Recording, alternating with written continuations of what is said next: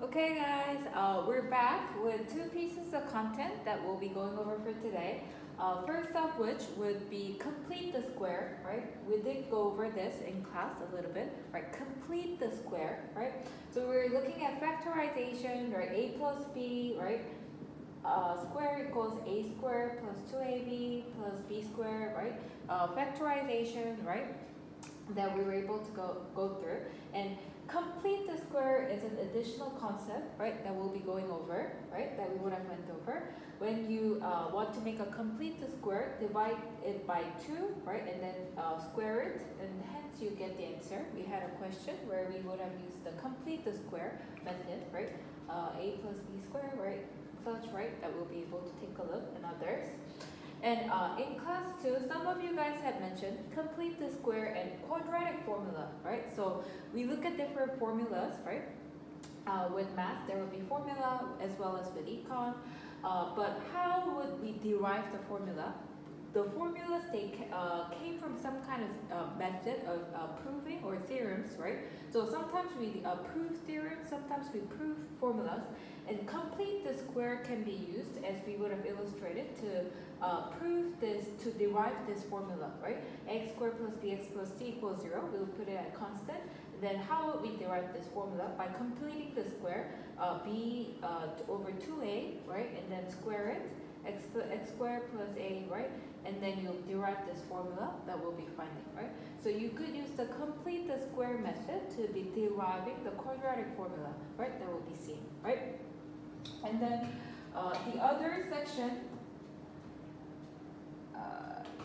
The uh, other thing that we would have covered in class would be also reading poems, right? How do we read poems that we have, right? So uh, there are different types of poems that we saw, right? Villanelle, which is 5 times 3 plus 4, organization of a, a poem that we'll be taking a look, right? Sonnet, which would be 14 line, or Shakespearean sonnet.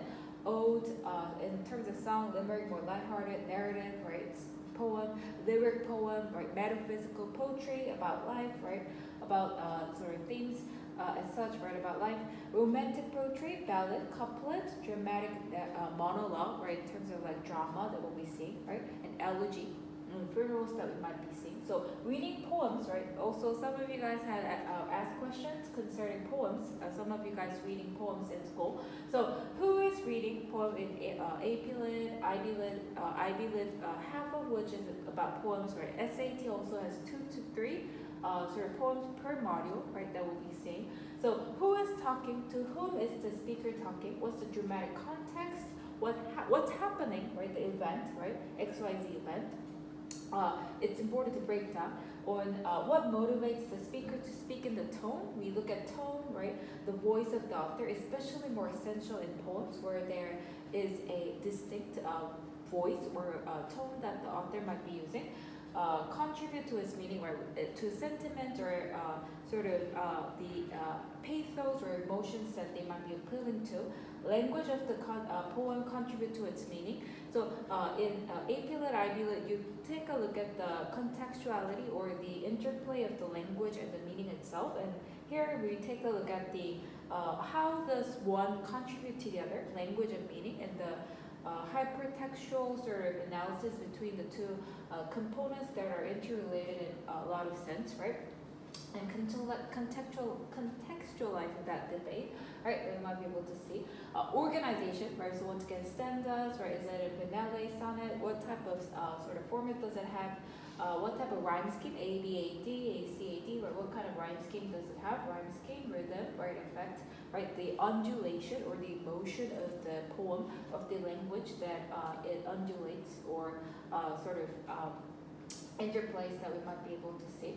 Uh, and so uh, also you guys had questions about how to be reading, right? Thou with mighty pen, thou, thou, right? With thy call, right? Of Old English that they might be having a lot of Shakespearean poems as well. About nature, flowers of uh, souls of men, right? Of men, kind of, right? A sort of uh, contemplation and uh, analysis of this that we might be seeing.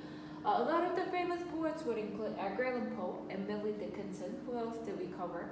Uh, uh, such po poets that we might be seeing, right? Uh, Heaney, Pen is mightier than pen, uh, The Sword, right? Who else? Uh, Daddy Longlegs by Sylvia Plath, Wilbur, uh, uh, who else? Uh, Robert Frost, uh, where a lot of you guys are reading his poems. Robert Frost uh, library was named after. So uh, a lot of uh, of famous poets and poems that you'll be covering in class, right, as well as in the SAT, right, three to four, about five to six, right, per test, uh, three to four per module that we'll be seeing in the SAT as well, right, enjambment, uh, free verse, hyperbole, tone, consonance, onomatopoeia, alliteration, assonance, illusion, illusion, uh, paradox, all the different literary devices would apply likewise in the poems, right, that we'll be able to see, right. So once again, uh, we'll come back with more content as you progress through uh, the classes. We'll come back with contents that uh, cater to your uh, sort of uh, uh, needs and interests that we'll be covering in the weeks to come, right? So yeah, stay in tune.